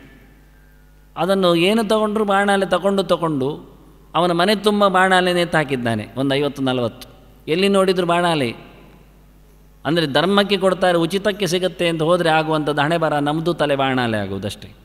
ಅಲ್ಲಿ ಧರ್ಮಕ್ಕೆ ಸಿಗುತ್ತೆ ಅಂತ ನಾವು ಕೇಳಿ ಕೇಳಿ ನಮ್ಮತನವನ್ನು ಕಳ್ಕೊಳ್ಳುತ್ತೇವೆ. ಅದರಿಂದ ಉಪಯೋಗ ಇಲ್ಲ ಅಂದರೆ ನಿನ್ನ ಉದ್ಧಾರ ಆಗಬೇಕಾ? ನೀನು ನಿನ್ನವನಾಗಬೇಕು. ನೀನು ದೇವರವನಾಗಬೇಕು. ಉಳಿದವರಿಗೆ ಏನಾದರೂ ನಮ್ಮ ತನ ಹೋಗ್ತದೆ. ನಾ ಇವತ್ತು ಹತ್ತು ಜನರ ಒಟ್ಟಿಗೆ ಸೇರಲಿಕ್ಕೆ ಹೋಗಿ ನಮ್ಮ ಆತ್ಮತ್ವವನ್ನೇ ಕಳ್ಕೊಂಡಿದ್ದೇವೆ. ಅದಕ್ಕೆ ಕೃಷ್ಣ ಅಂದ ಮೊದಲಿಗೆ, ಮೊದಲು ಆತ್ಮವಾಂತ ಹಾಕು. ಅದಕ್ಕೆ ಬೇಕಾದ್ದು ಕರ್ಮದ ತೊರೆಯುವಿಕೆ ಅಂತಾನೆ. ಹೇಗೆ ಬಿಡಬೇಕು? ಯೋಗ ಸನ್ಯಸ್ತ ಕರ್ಮಾಣಂ. ಬಹಳ ಚೆನ್ನಾಗಿ ಹೇಳಿದ. ಯೋಗ ಅಂದರೆ ನಾವು ಹಿಂದೆ ತಿಳ್ಕೊಂಡು ಬಂದದ್ದು ಒಂದು ರೀತಿಯ ತಂತ್ರ. ಉಪಾಯ. ಉಪಾಯದಿಂದ ಕರ್ಮದ ತ್ಯಾಗ ಮಾಡಬೇಕು ಅಂದ. ಯೋಗದಿಂದ ಕರ್ಮದ ತ್ಯಾಗ. ಬಹಳ ನಾಜೂಕಾಗಿ. ಕರ್ಮ ಬಿಡಲಿಕ್ಕೆ ಬರುವುದಿಲ್ಲ, ಮತ್ತು ಬಿಡದೆ ಇರಲಿಕ್ಕೆ ಆಗುವುದಿಲ್ಲ, ಮತ್ತು ಬಿಡದೆ ಇರಲಿಕ್ಕೂ ಆಗುವುದಿಲ್ಲ ಅಲ್ವಾ? ಅದು ಹೌದು. ಬಿಡಲೇಬೇಕಾಗತ್ತೆ. ಕರ್ಮವನ್ನು ಬಿಡುವ ಕತೆ ಹೇಗೆ ಕೇಳಿದರೆ, ಹಲಸು ತಿನ್ನಬೇಕು, ಆದರೆ ಹೊಲಸು ಆಗಬಾರ್ದು. ಅದಕ್ಕೆ ಬೇಕಾದ ಹಾಗೆ ನಾವು ಹಚ್ಚಿಕೊಳ್ಳುವಂಥದ್ದನ್ನು ಒಪ್ಪಿಕೊಳ್ಳಬೇಕು. ಇಷ್ಟೇ ತಾನೇ? ಹಾಗೆ. ಯಾವುದೇ ವಸ್ತುವನ್ನು ಮಗುವಿನ ಕೈಯಲ್ಲಿ ಮುಸುಂಬಿ ಕೊಟ್ಟರೆ ಅದು ಕಚ್ಚಲಿಕ್ಕೆ ಹೋಗಿ ಬಾಯಿ ತುಂಬ ಮಾಡಿಕೊಳ್ಳುತ್ತೆ ಸೊನೆ ಮೂರೆ ತುಂಬ ಆಗುತ್ತೆ, ಕಣ್ಣು ತುಂಬ ಆಗುತ್ತೆ, ಇನ್ಯಾವತ್ತು ಮುಸುಂಬಿ ಕೊಟ್ಟರು ಬೇಡ ಅನ್ನತ್ತೆ. ಅದರದ್ದು ಸೊನೆ ಕಣ್ಣಿಗೆ ಬಿದ್ದು ಮೂಗಿಗೆ ಘಾಟ ಹೊಡೆದು. ಅದೇ ತೊಳೆ ಬಿಚ್ಚಿ ಕೊಟ್ಟರೆ ಯಾವತ್ತೂ ಮುಸುಂಬಿ ಬೇಕು ಕೇಳುತ್ತೆ, ಅದು ತೆಗೆಸಿಕೊಡು ಅಂತ. ಯಾವಾಗ ಒಳಗಿನ ವಸ್ತು ಅದಕ್ಕೆ ಅರಿವಿಗೆ ಬಂತೋ, ಅನುಭವಕ್ಕೆ ಸಿಕ್ಕಿತೋ, ಆವತ್ತದು ಯಾವತ್ತೂ ದ್ವೇಷಿಸುವುದಿಲ್ಲ ಅದನ್ನು ಪ್ರೀತಿಸ್ತದೆ. ಆದ್ದರಿಂದ ಉಪಾಯದಿಂದ ಕರ್ಮದಲ್ಲಿರತಕ್ಕಂತಹ ತೊಂದರೆಯನ್ನು ನೀನು ಬಿಟ್ಟುಕೊಡಬೇಕು. ಏನು ತೊಂದರೆ? ವಾಸ್ತವವಾಗಿ ಒಂದು ಅಭಿಮಾನ. ಇನ್ನೊಂದು ಅಲ್ಲಿ ಬರತಕ್ಕಂತಹ ಫಲದ ಮೇಲಿನ ಆಸೆ. ಮೊತ್ತವನ್ನು ನೋಡಿಕೊಂಡ್ರೆ ಮಾಡಬೇಕಲ್ಲ ಎನ್ನತಕ್ಕಂತಹ ಉತ್ಸಾಹ, ಅದಮ್ಯವಾದ ಉತ್ಸಾಹ. ಅದರೊಟ್ಟಿಗೆ ಕೀರ್ತಿಯ ಮೇಲೆ ಕಣ್ಣು, ಹೆಸರಿನ ಮೇಲೆ ವಾಸನೆ, ಇವೆಲ್ಲ ವ್ಯಾವಹಾರಿಕವಾದ ಬದುಕಿನ ಮೇಲೆ ಆ ಕರ್ಮಕ್ಕಿರತಕ್ಕಂತಹ ಒತ್ತಡ. ಈ ಮೂರು ನಾಲ್ಕು ಮುಖಗಳನ್ನು ಆತ ದಾಟಿದರೆ ಅವನಿಗೆ ಯಾವುದೇ ರೀತಿಯಾದ ಕರ್ಮದ ಪೀಡೆ ಇಲ್ಲ. ಮನುಷ್ಯನಿಗೆ ಕರ್ಮ ಪೀಡಿಸುವುದೇ ಹೀಗೆ. ಮಾಡಿದ್ದರ ಮೇಲೆ ಪ್ರಧಾನವಾಗಿ ಕೃಷ್ಣ ಒಪ್ಪಿಕೊಂಡದ್ದು ಫಲದ ಆಸೆ. ಪ್ರಯೋಜನ ಮನುದ್ದಿಶ್ಯ ನಮಂದೋಪಿ ಪ್ರವರ್ತತೆ ಅಂತ ಒಬ್ಬ ಹುಚ್ಚನೂ ಕೆಲಸ ಮಾಡುವಲ್ಲಿ ಏನೋ ಪ್ರಯೋಜನ ಹುಡುಕ್ತಾನವನು? ಅವನು ತೋಡಿಗಿಳಿಯುವುದರಲ್ಲಿ ಏನೋ ಒಂದು ಹುಡುಕ್ತಾ ಇದ್ದಾನವ ಅವನಿಗೆ ಅದರಲ್ಲಿ ಇದೆ ಪ್ರಯೋಜನ. ಆದ್ದರಿಂದ ಯಾವ ವ್ಯಕ್ತಿಯೂ ಸಹ ಪ್ರಯೋಜನ ಇಲ್ಲದೆ ಕೆಲಸ ಮಾಡುವುದಿಲ್ಲ. ಮೊತ್ತ ಮೊದಲಾಗಿ ಕೆಲಸಕ್ಕೆ ಕೈ ಇಕ್ಕುವುದೇ ಪ್ರಯೋಜನದ, ಲಾಭದ ಮಹದುದ್ದೇಶದಿಂದ. ಮೊದಲು ಲಾಭವನ್ನು ಮರೆತು ಬಿಡು. ಆಗುವುದು ಹೇಗೆ ಮತ್ತೆ? ಅದಕ್ಕೆ ಹೇಳಿದ್ದ ಯೋಗಕ್ಕಾಗಿ ಕರ್ಮದ ನ್ಯಾಸ ಮಾಡು ಅಂದ. ಯೋಗ ಅಂದರೆ ಯಾರು? ಯೋಗ ಅಂದರೆ ಒಂದು ಉಪಾಯ ಆಯಿತು. ಇನ್ನೊಂದು ಯೋಗ ಅಂದರೆ ಯೋಗೋ ಯೋಗ ವಿಧಾಮ್ನೇತ. ಯೋಗ ಅಂದರೆ ದೇವರೇ. ಭಗವಂತನಿಗಾಗಿ ಕರ್ಮದ ನ್ಯಾಸ ನಾವು ಇವತ್ತು ಅಡುಗೆ ಮಾಡುತ್ತಾ ಇದ್ದೇವೆ. ಯಾರಿಗಾಗಿ ಮಾಡುತ್ತೇವೆ? ಯಾರಿಗಾಗಿ ಯಾರು ಅಡುಗೆ ಮಾಡೋದು ಗೊತ್ತಿಲ್ವೋ ಕೇಳ್ತಾರೆ. ಹಾಂ, ಹಾಗಾದರೆ ನಾವು ಆತ್ಮವಂತರು ಇವತ್ತು. ಯಾವ ಆತ್ಮವಂತರು? ನಮಗೆ ನಾವೇ ದೇವರು. ದೇವರಿಗಾಗಿ ಅಡುಗೆ ಮಾಡಿದ್ದೀರಿ ಅಂತ ಹೇಳ್ತೀರೋ? ಅದು ಹೌದಲ್ಲ. ಅರ್ಥ ಆದರೆ ಆಗಬೇಕಿತ್ತು ಹೋ, ದೇವರಿಗೋಸ್ಕರ ಅಡುಗೆ ಮಾಡಬೇಕಲ್ಲ ಅಂತ. ಗಲ್ಲ ಅಂತ ಅಷ್ಟೇ. ಕೆಲವರು ಹೇಳೋದು, ನಮಗಾಗಿ ನಾವು ಅಡುಗೆ ಮಾಡೋದು, ಮತ್ತು ಮಕ್ಕಳಿಗಾಗಿ ಮಾಡುತ್ತೇವೆ, ಗಂಡನಿಗಾಗಿಯೋ ಹೆಂಡತಿಗಾಗಿಯೋ ಮಾಡುತ್ತೇವೆ, ಮತ್ತು ದೇವರಿಗಾಗಿ ದೇವರಿಗಾಗಿ ಅಲ್ಲಿ ಬಾಳೆಹಣ್ಣು ಇಡ್ತೇವೆ ಮಾಡೋದಲ್ಲಿ ಇಡುವುದು ದೇವರಿಗಾದರೆ ಇಡುವುದು, ನಮಗಾದರೆ ಮಾಡುವುದು. ಅದರಿಂದ ಹೇಳಿದ, ಯಾವುದೇ ಕೆಲಸವನ್ನು ದೇವರಿಗಾಗಿ ಮಾಡು. ಅಲ್ಲಿಯ ರುಚಿ ನೋಡು. ಆಗ ನಿನಗೆ, ನಿನಗಾಗಿ ಮಾಡಲಿಕ್ಕೆ ಬರುವುದೇ ಇಲ್ಲ. ನಿಮ್ಮವರಿಗಾಗಿ ಮಾಡಲಿಕ್ಕೆ ಆಗುವುದೇ ಇಲ್ಲ. ಅಲ್ಲಿ ಯಾರೂ ನಮ್ಮವರು ಕಾಣುವುದೇ ಇಲ್ಲ. ದೇವರು ಮಾತ್ರ ಕಾಣುವಲ್ಲಿ. ಒಂದು ಯಾರಿಗಾದರೂ ಮಾಡುವುದಿದ್ದರೂ ಅಲ್ಲಿ ದೇವರನ್ನು ನೋಡುವೆ. ಅನ್ನ ತಾಯಿ ದೇವರು ಹೇಳಿದ್ದು, ತಂದೆ ದೇವರು ಹೇಳಿದ್ದು ಅಲ್ಲ ಅಲ್ಲ, ಮತ್ತು ಅಲ್ಲಿರತಕ್ಕ ದೇವರಿಗಾಗಿ ಅಂತ ಹೇಳು. ಇದು ಯಾರು ಹೇಳ್ತಾರೆ ನಾನು ಅಮ್ಮನಿಗೆ ಇವತ್ತು ಅಡುಗೆ ಮಾಡಿಟ್ಟು ಬಂದಿದ್ದೇನೆ, ಮತ್ತೆ ಕೆಲಸಕ್ಕೆ ಓಡಿ ಹೋದದ್ದು.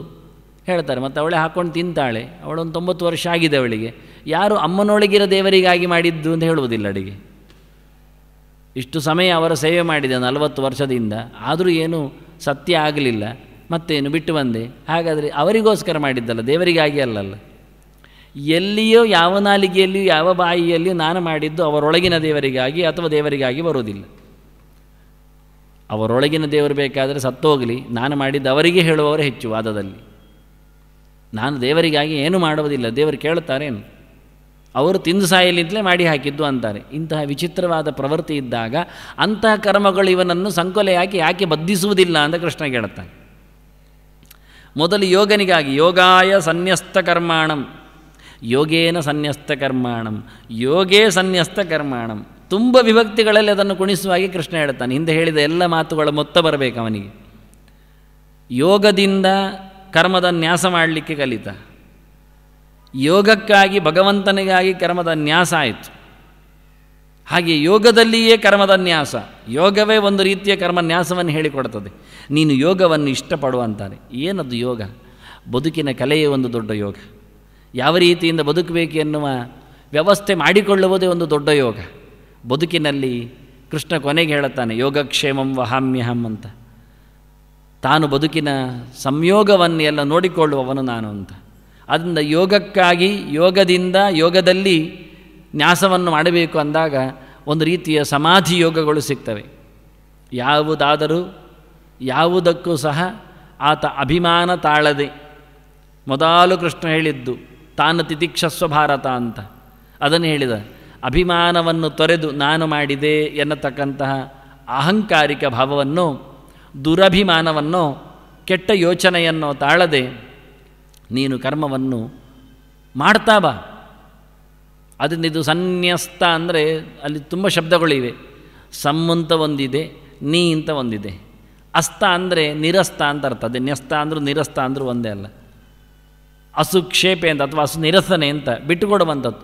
ಕರ್ಮದ ಫಲವನ್ನು ಯಾವತ್ತು ನೀನು ಇಷ್ಟಪಡುವುದಿಲ್ಲ, ಆವತ್ತು ನೀನು ಕರ್ಮವನ್ನು ಬಿಟ್ಟ ಹಾಗೆ. ಅದರ ಲಾಭ, ನಷ್ಟ ನನಗಿಲ್ಲ ಅಂತ.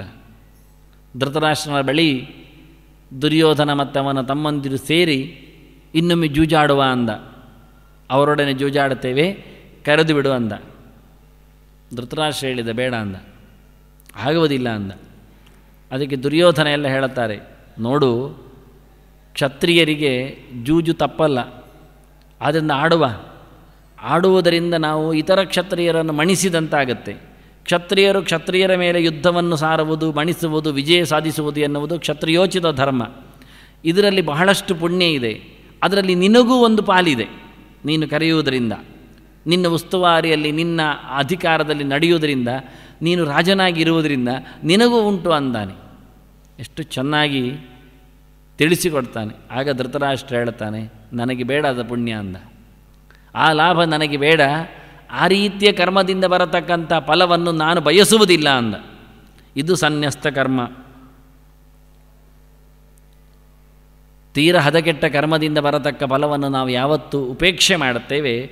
ಹಾಗೆ ಒಳ್ಳೆಯ ಕರ್ಮದಿಂದಲೂ ಫಲವನ್ನು ಇಷ್ಟಪಡಬಾರ್ದು. ಇಷ್ಟಪಡಬಾರ್ದು ಅಂದರೆ ನಮ್ಮ ವ್ರತನಿಯಮ ಉಪವಾಸಗಳಿಗೆಲ್ಲ ಬಹಳ ಕಡಿಮೆ ಪುಟಗಳು ಸಾಕಾಗ್ತವೆ. ಯಾಕೆ? ಪ್ರಾರಂಭದಲ್ಲಿ ಸಂಕಲ್ಪಗಳೇ ಇಲ್ಲ. ಸುಮಾರು ಎಂಟತ್ತು ಪುಟ ಸಂಕಲ್ಪಗಳೇ ಇರ್ತವೆ. ದೀರ್ಘವಾದ ಸಂಕಲ್ಪ. ಕೇಳ್ತಾರೆ ಅವರು, ಮಹಾಸಂಕಲ್ಪ ಇಲ್ವಾ ಅಂತ. ಮಹಾಸಂಕಲ್ಪ ಮಾಡಿಸ್ಬೇಕು. ಕೊನೆಗೆ ಕೃಷ್ಣಾರ್ಪಣದ್ದೇ ಗೌಜಿ ಇರ್ತದೆ. ಇಷ್ಟೆಲ್ಲ ಮಾಡಿದ್ದೇನೆ ಅಂತ ಹೇಳಿಕೊಂಡು. ಇದು ಎರಡು ಇಲ್ಲ ಅಂತಾದ್ರೇನು? ಸಂಕಲ್ಪ ಇಲ್ಲದ ಕೆಲಸ ಅದು ಯೋಗ ಸನ್ಯಾಸ ಸಂ ಕರ್ಮ ಅದು. ಯೋಗ ಸನ್ಯಸ್ತ ಕರ್ಮಾಣ ಆದರೆ ಕೆಲಸ ಬಿಟ್ಟವನು ಅಂತ ಅರ್ಥ ಅಲ್ಲ. ಕೆಲಸವನ್ನು ಭಗವಂತನಿಗೆ ಪೂರ್ವ ಒಪ್ಪಿಸಿದವ, ಸಂಕಲ್ಪವೇ ಇಲ್ಲ. ಇದಕ್ಕಾಗಿ, ಅದಕ್ಕಾಗಿ ಮತ್ತೊಂದದ್ದಾಗಿ ಮತ್ತೆ ಮತ್ತು ಯೋಗವೇ ಸಂಕಲ್ಪ. ಯೋಗ ಅಂದರೆ ದೇವರು. ಭಗವಂತನಿಗಾಗಿಯೇ ಮಾಡಬಹುದು ಅಂತ. ಭಗವತ ಪ್ರೇರಣೆಯ ಭಗವತ ಪ್ರೀತಯೇ ಅಂತ ಇದು ಮಾತ್ರ ಬರಬೇಕು. ಇನ್ಯಾವುದು ಬರಬಾರ್ದು. ಅದು ಬಂದು ಉಳಿದದ್ದು ಬಂದರೆ ಅದು ಮತ್ತೆ ಯೋಗ ತಪ್ಪಿತು ಅಲ್ಲಿ. ವ್ಯಕ್ತಿಯು ಬಂದ. ಅದಕ್ಕೆ ಕೃಷ್ಣ ಕೊನೆಗೆ ಹೇಳಿದ, ಆತ್ಮವಂತಂ ಅಂತ. ಅಲ್ಲಿ ನಾನಿದ್ದೇನಾ ಅಂತ ಕೇಳಿದ. ದೇವರಿದ್ದಾರೆ ಅಂತ ಇದ್ರೋ ಕೆಲಸ ಆಯಿತು. ದೇವರಿಲ್ಲದ ಕೆಲಸವೋ, ಅದು ಕೆಲಸವೇ ಅಲ್ಲ. ದೇವರೂ ಇದ್ದಾನೆ ಅಂದರೆ ಅವರಿಗೆ ಪ್ರಾಧಾನ್ಯ ಇಲ್ಲ ಅಂತ ಅರ್ಥ. ನಾವು ಎಲ್ಲರನ್ನೂ ಕರೆದಿದ್ದೇವೆ. ದೇವರನ್ನು ಒಪ್ಪಿದ್ದೇವೆ ಅಂದರೆ ಅದಾಗುವುದಿಲ್ಲ. ನಾವು ದೇವರನ್ನು ಒಪ್ತೇವೆ. ನಾವು ಇಲ್ಲಿಯೂ ಬರ್ತೇವೆ. ಅಲ್ಲಿಗೂ ಹೋಗ್ತೇವೆ ಅಂದರೆ ನೀವು ಅಲ್ಲಿಗೆ ಹೋಗುವ ಒಲುಮೆ ಇತ್ತವರು ಅಂತ ಅರ್ಥ. ದೇವರೊಪ್ಪುವುದಿಲ್ಲ ಆಗುವುದಿಲ್ಲ ಅಂದವ. ಅದಕ್ಕೆ ಆತ್ಮವಂತ ಹೇಳ್ತಾನೆ, ಎಲ್ಲ ದೇವತೆಗಳನ್ನು ಒಪ್ಪುವುದನ್ನು ನಾನು ಒಪ್ಪುವುದಿಲ್ಲ ಅಂದವ. ಯಾಕೆಂದರೆ ನಿನಗೆ ಜ್ಞಾನದಲ್ಲಿ ಇನ್ನೂ ಸಂಶಯ ಹೋಗಿಲ್ಲ ಅಂತ ಅರ್ಥ. ಇನ್ನೂ ಅನೇಕರು ಪ್ರಧಾನರಾಗಿ ನಿನ್ನ ತಲೆಯಲ್ಲಿ ಹೊಕ್ಕಿದ್ದಾರೆ ಆದ್ದರಿಂದ ನೀನು ಆತ್ಮವಂತನಾಗಲಿಲ್ಲ. ಯಾವತ್ತೂ ನಿನ್ನ ಕರ್ಮದಲ್ಲಿ ನಾನು ಇರ್ತೇನೋ, ಆಗ ನೀನು ಆತ್ಮವಂತ. ಹೀಗೆ ಮನಸ್ಸಿನಲ್ಲಿ ಭಗವಂತ ಬರಬೇಕು, ಕರ್ಮದಲ್ಲಿ ಭಗವಂತ ಬರಬೇಕು, ಅರಿವಿನಲ್ಲಿ ಭಗವಂತ ಬರಬೇಕು. ಹೀಗೆ ಮೂರು ಕಡೆಯಲ್ಲಿ ಭಗವಂತನನ್ನು ತರಲಿಕ್ಕೋಸ್ಕರ ಇದನ್ನು ಕೃಷ್ಣ ಹೇಳಿದ. ಯೋಗ ಸನ್ಯಸ್ತ ಕರ್ಮಾಣಂ, ಜ್ಞಾನ ಸಂಚಿನ್ನ ಸಂಶಯಂ ಅಂತ. ಜ್ಞಾನ ಎನ್ನುವಲ್ಲಿ ಸತ್ಯಂ ಜ್ಞಾನಮನಂತಂ ಬ್ರಹ್ಮ ಅಂತ ಭಗವಂತನೇ ಇರುತ್ತೆ. ಭಗವಂತನಿಂದಾಗಿ, ಭಗವದ್ ಅರಿವಿನಿಂದಾಗಿ ತನ್ನಲ್ಲಿರತಕ್ಕಂಥ ಸಂಶಯಗಳನ್ನು ನಿರಾಸ ಮಾಡಿಕೊಂಡವ. ಭಗವಂತನನ್ನು ಸ್ವಾಮಿಯನ್ನಾಗಿ ಹೊತ್ತುಕೊಂಡವ. ಆತ್ಮವಾನ್ ಅಂದರೆ ಆತ್ಮ ಸ್ವಾಮಿತಯ ಅಸ್ಯ ಅಸ್ಥಿತಿಯಿಂದ ಆತ್ಮೇತಿ ಉಪಗಚ್ಚಂತಿ ಗ್ರಾಹಯಂತಿ ಚ ಅಂತ ಸೂತ್ರ. ವ್ಯಕ್ತಿ ಯಾವ ರೀತಿಯಿಂದ ಬದುಕಬೇಕು ಅಂದರೆ, ಅವನು ಭಗವಂತ ನನ್ನ ಒಡೆಯ ಅಂತ ಹೇಳಿಕೊಂಡು ನಿರಂತರವಾಗಿ ನಂಬಿರಬೇಕು. ರಕ್ಷತಿತ್ಯೇವ ವಿಶ್ವಾಸ ಅಂತ. ದೇವರು ನನ್ನನ್ನು ಖಂಡಿತವಾಗಿಯೂ ಕಾಪಾಡಿಕೊಳ್ಳುತ್ತಾನೆ. ಆತ ನನ್ನ ಒಡೆಯ ಇದ್ದಾನೆ. ಮುಗಿಯಿತು ಇನ್ಯಾರತ್ರವೂ ಏನೂ ಕೇಳಲಿಕ್ಕಿಲ್ಲ. ಆದ್ದರಿಂದ ಅವನಿಗಾಗಿಯೇ ನನ್ನ ಎಲ್ಲದರ ತ್ಯಾಗ. ಒಂದು ಕಡೆಯಲ್ಲಿ ತ್ಯಾಗ, ಮತ್ತೊಂದು ಕಡೆಯಲ್ಲಿ ಜ್ಞಾನ, ಇನ್ನೊಂದು ಕಡೆಯಲ್ಲಿ ಭಗವದೇಕ, ರತಿತ್ವ, ಭಕ್ತಿ. ಇದನ್ನು ತೋರಿಸಿಕೊಟ್ಟ ಭಕ್ತಿ ಜ್ಞಾನ ವೈರಾಗ್ಯದ ಮೂರು ಸಂಪತ್ತನ್ನು ಇಲ್ಲಿ ಉಲ್ಲೇಖ ಮಾಡಲಿಕ್ಕೆ ಆತ್ಮವಂತಂ, ಜ್ಞಾನ ಸಂಚಿನ್ನ ಸಂಶಯಂ, ಯೋಗ ಸನ್ಯಸ್ತ ಕರ್ಮಾಣ. ಸನ್ಯಾಸ ಎನ್ನುವುದು ವೈರಾಗ್ಯದ ದೊಡ್ಡ ಅಂಶ. ಕರ್ಮ ಬಿಡುವುದಲ್ಲ, ಕರ್ಮ ಮಾಡುವುದೇ ಕರ್ಮದ ಫಲವನ್ನು ಯಾವತ್ತೂ ಒಪ್ಪದಿರುವುದು. ಬಂದಾಗ ಸ್ವೀಕರಿಸಬಹುದು, ಬಿಡಬೇಕು ಅಂತ ಹೇಳುವುದಿಲ್ಲ. ಆದರೆ ಅದಕ್ಕೋಸ್ಕರ ಮಾಡುತ್ತೇನೆ ಅಂತಿಲ್ಲ, ಕೇವಲ ದೇವರಿಗಾಗಿ ಮಾಡುತ್ತೇನೆ. ಉಪಾಯ ಅರಿತು ಮಾಡುತ್ತೇನೆ, ಕರ್ಮವನ್ನು ಯಾವ ರೀತಿಯಿಂದ ಮಾಡಬೇಕು ಅಂತ ಶಾಸ್ತ್ರ ಹೇಳಿದೋ ಅದನ್ನು ಅನುಗುಣವಾಗಿ, ಅನುಸಾರವಾಗಿ ಇಟ್ಟುಕೊಂಡು ತಿಳಿದು ಮಾಡುತ್ತೇನೆ. ಯೋಗ ಅಂದರೆ ಉಪಾಯ. ಬದುಕುವ ಕಲೆ. ಅಧ್ಯಾತ್ಮ ಮಾರ್ಗದಲ್ಲಿ ಭಗವದೆಚ್ಚರದಲ್ಲಿ ಬದುಕು ಬದುಕುವ ಕಲೆಯನ್ನು ಯೋಗ ಅಂತ ಕರೆದು. ಆದರೆ ಇವತ್ತು ನಮಗೆ ಯೋಗ ಹೇಳಿಕೊಡುವವರು ಆ ಬದುಕುವ ಕಲೆಯಲ್ಲಿ ಮನಸ್ಸನ್ನು ಯಾವ ರೀತಿಯಿಂದ ಉಪಯೋಗಿಸಿಕೊಳ್ಳಬೇಕು ಅಂತ ಹೇಳಿಕೊಡ್ತಾರೆ. ಅದರಲ್ಲಿ ಇವತ್ತು ನಾವು ಕಲೀಲಿಕ್ಕೆ ಹೊರಟದ್ದು ಯೋಗ ತರಗತಿಗಳಲ್ಲಿ ದೇಹ ಹೇಗೆ ಕೈಕಾಲುಗಳನ್ನು ಮುದುಡಿಸಿಕೊಂಡು ಬಿಡಿಸಿಕೊಂಡು ಇರುವುದು ಅಂತಷ್ಟೆ ನಿಜವಾಗಿ ಯೋಗ ಅಂದರೆ ಭಗವಂತನ ಸಂಬಂಧವನ್ನು ಪಡೆಯುವುದು ಹೇಗೆ ಅಂತ. ಅದು ದೈಹಿಕವಾಗಿ ಅಲ್ಲ. ಮಾನಸಿಕವಾಗಿದ್ದುಕೊಂಡು ಜೈವಿಕವಾಗಿ. ಚಿತ್ತು ಮಾತ್ರ ಸಂಪರ್ಕಗೊಂಡು ಜಡದ ಸಂಪರ್ಕದಲ್ಲಿ ಅಲ್ಲ, ಅದು ನಿಜವಾದ ಯೋಗ. ಆ ಯೋಗಕ್ಕೋಸ್ಕರ ಇರುವಂಥದ್ದು ಸಾಧನೆಗಳು, ಉಪಾಯಗಳು. ಯಾವ ರೀತಿಯಿಂದ ಕರ್ಮವನ್ನು ನಡೆಸಿಕೊಟ್ಟಾಗ ನಾವು ಭಗವಂತನೆಡೆಗೆ ವಾಲಬಹುದು, ಆ ಕರ್ಮ ದೇವರಿಗೆ ಇಷ್ಟ ಆಗಬಹುದು, ಹೇಳಿಕೊಂಡು ಕರ್ಮದ ಸ್ವಾಮಿಯನ್ನು, ಫಲಾಧ್ಯಕ್ಷನನ್ನು ಸಂತೋಷಗೊಳಿಸುವ ರೀತಿಯಲ್ಲಿ ರೀತಿ ರಿವಾಜುಗಳನ್ನು ಇಟ್ಟುಕೊಳ್ಳಿಕ್ಕಿರುವಂಥದ್ದನ್ನು ಯೋಗ ಅಂದರು. ಸಂಬಂಧ ಮೊದಲ ಅರ್ಥ ಆದರೆ ಎರಡನೇ ಅರ್ಥದಲ್ಲಿ ಬದುಕಿನ ಉಪಾಯ ಆಯಿತು. ತಂತ್ರಾಂಶಗಳಾಯಿತು. ಮೂರನೇ ಅರ್ಥಕ್ಕೆ ಬಂದಾಗ ಇವತ್ತು ಯಾರೊಂದು ಪಾತಂಜಲ ದರ್ಶನ ಅಂತ ಹೇಳ್ತಾರೆ, ಲೋಕಕ್ಕೆ ಯೋಗವನ್ನು ಬಹಳಷ್ಟು ಹೆಚ್ಚಿಗೆ ಸೂತ್ರಗಳ ಪ್ರಾಯದಲ್ಲಿ ಪ್ರಚಾರಗೈದವ, ಅವನ ಯೋಗ ಪ್ರಕಾರ ಈ ಸಾಧನಾಂಶಗಳನ್ನು, ತಂತ್ರಾಂಶಗಳನ್ನು ನಾವು ಮನವರಿತು ಹೇಗೆ ಮಾಡಬಹುದು ಅಂತ ಮನಸ್ಸಿನ ಪ್ರಣಿಧಾನವನ್ನು ಹೇಳಿಕೊಟ್ಟವ. ಇಡೀ ದೇಹದಲ್ಲಿ ಮನಸ್ಸನ್ನು ಇಟ್ಟುಕೊಳ್ಳುವ ಕತೆ ಹೇಗೆ? ಅದನ್ನು ಯಾವ ರೀತಿಯಿಂದ ದುಡಿಸಿಕೊಳ್ಳಬಹುದು ಅಂತ ಮತ್ತಷ್ಟು ಸಂಕೋಚಕ್ಕೆ ಬಂದ. ಆದರೆ ಇವತ್ತು ನಾವು ಪತಂಜಲಿಯ ಹೆಸರಿನಲ್ಲಿ ಯೋಗ ತರಗತಿಗಳು ಅಂತ ಹಾಕಿಕೊಂಡು ಹೇಳಿಕೊಡುವುದು ಏನು ಕೇಳಿದರೆ ಇಷ್ಟೇ. ನಾವು ಹೇಗೆ ಬದುಕಬಹುದು ಅಂತ ದೈಹಿಕವಾಗಿ. ಅವ ಮಾನಸಿಕವಾಗಿ ಹೇಳಿದರೆ ಇವತ್ತು ನಾವು ಕೇವಲ ದೈಹಿಕವಾಗಿ. ಬೆನ್ನು ನೋವ, ಹಾಗಾದರೆ ಶವಾಸನವನ್ನು ಹದಿನೆಂಟು ಗಂಟೆ ದಿನಕ್ಕೆ ಮಾಡಿ. ಮತ್ತು ಉಳಿಯುವುದು ನಾಲ್ಕಾರು ಗಂಟೆ. ಅದು ಪರವಾಗಿಲ್ಲ, ನಿದ್ದೆ ಮಾಡಿ. ಇದು ಒಳ್ಳೆ ಮತ್ತು ತಿನ್ನುವುದು ಯಾರು? ಮನೆ ಪಕ್ಕದವರ ಹತ್ರ ಹೇಳಿ ತಂದು ಕೊಡಲಿಕ್ಕೆ ಆಯ್ತಲ್ಲ. ನಿಮಗೆ ಬೆನ್ನು ನೋವು ಉಂಟಲ್ಲ, ಹೋಗಬೇಕಲ್ಲ. ಹೀಗೆ ಅವರು ಕೊಡುವ ನೋವುಗಳಿಗೆಲ್ಲ ನಾವು ಆಸನಗಳನ್ನು ಮಾಡ್ತಾ ಕೂತ್ರೆ ಶಾಶ್ವತವಾಗಿ ನಮಗೆ ಒಂದು ನೋವು ಬರುತ್ತೆ. ಸಾವು ನೋವು ಕೂಡಲೇ ಬರುತ್ತೆ ಅಷ್ಟೇ. ಪ್ರವೃತ್ತಿಯೇ ಇಲ್ಲ. ಅದರಿಂದ ವಾಸ್ತವವಾಗಿ ಇವತ್ತು ನಾವು ಯೋಗ ತರಗತಿಗೆ ಬಂದದ್ದು ಕೇವಲ ದೈಹಿಕ, ನಮ್ಮ ಆರೋಗ್ಯವನ್ನು ನೋಡಿಕೊಳ್ಳುವಲ್ಲಿ ಬಂದಿದ್ದೆ. ಕೃಷ್ಣ ಅದು ಹೇಳುವುದೇ ಅಲ್ಲ. ವಾಸ್ತವವಾಗಿ ಇದು ತ್ಯಾಗವನ್ನು ಹೇಳಿದ, ವೈರಾಗ್ಯದ ಪಾಠ ಮಾಡಿದ. ಯೋಗ ಸನ್ಯಸ್ತ ಕರ್ಮಾಣಂ ಎನ್ನುವಲ್ಲಿ ಸಂಶಬ್ದ ಹಾಕುವ ಮೂಲಕ ಪೂರ್ಣವಾಗಿ ಕರ್ಮವನ್ನು ಮಾಡ್ತಾ ಇರಬೇಕು. ಆದರೆ ಕರ್ಮದ ಯಾವುದೇ ಅಂಟಿಗೆ ಅವ ಸಂಬಂಧಪಡದಂತೆ ಫಲವನ್ನು ಪೂರ್ತಿ ಬಿಟ್ಟಿರಬೇಕು. ಫಲ ಬಂದದ್ದು ಉಪಯೋಗಿಸಿಕೊಳ್ಳಬಹುದು. ಫಲ ದಾಸೆಯಿಂದ ಕರ್ಮ ಮಾಡಬಾರ್ದು. ಫಲದ ನಿರೀಕ್ಷೆಯಲ್ಲಿ ಕರ್ಮ ಮಾಡಬಾರ್ದು. ಇವತ್ತು ನಮ್ಮ ಪರೀಕ್ಷೆಯೇ ಹಾಗೆ. ಇಷ್ಟು ಅಂಕಗಳು ಬರಬೇಕು ಅಂತಲೇ ನಾವು ರಾತ್ರಿ ಹಗಲು ಒದ್ದಾಡುವುದು ವಿದ್ಯಾರ್ಥಿಗಳನ್ನು ಒದ್ದಾಡಿಸುವುದು. ಕೊನೆಗೆ ಅವುಗಳು ಪಡೆಯದಿದ್ದರೆ ನೀನು ಇರುವುದಕ್ಕಿಂತ ಸಾಯುವುದು ಒಳ್ಳೆಯದು ಅಂತ ಹೇಳುತ್ತೇವೆ. ಅಥವಾ ಮೊದಲೇ ಹೇಳಿರ್ತೇವೆ ಅದು ಅದನ್ನೇ ಮಾಡುತ್ತೆ ಮತ್ತೆ. ಅದಕ್ಕಿಂತ ಏನೂ ನಿರೀಕ್ಷೆಯೇ ಇಲ್ಲದವ. ಅವನಿಗೆ ತೊಂಬತ್ತರ ನಿರೀಕ್ಷೆ ಇತ್ತು. ಬರಲಿಲ್ಲ. ಎಂಬತ್ತೊಂಬತ್ತು ಬಂದಿದೆ. ಅವ ರೈಲಿನ ಅಡಿಯಲ್ಲಿ ಸತ್ತ. ಇನ್ನೊಬ್ಬ ನಿರೀಕ್ಷೆ ಇರಲಿಲ್ಲ. ಅವನಿಗೆ ಇಲ್ಲವೇ ಇಲ್ಲ. ಅವನು ಬೀಡ ಅಂಗಡಿಯವ ಎಲ್ಲಿಯೋ ಬದುಕಿ, ದೀಪ ದಾರಿದೀಪದಲ್ಲಿ ಬದುಕಿದವ, ಓದಿದವ.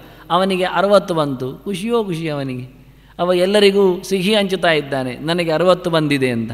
ಅದೇ ಎಂಬತ್ತೊಂಬತ್ತರವ ಸತ್ತಿದ್ದಾನಲ್ಲಿ ರೈಲಡಿ ಬಿದ್ದು ಯಾಕೆ ಅವನಿಗೆ ಒಂದು ಮಾರ್ಕು ಕಮ್ಮಿ ಆಗಿದೆ.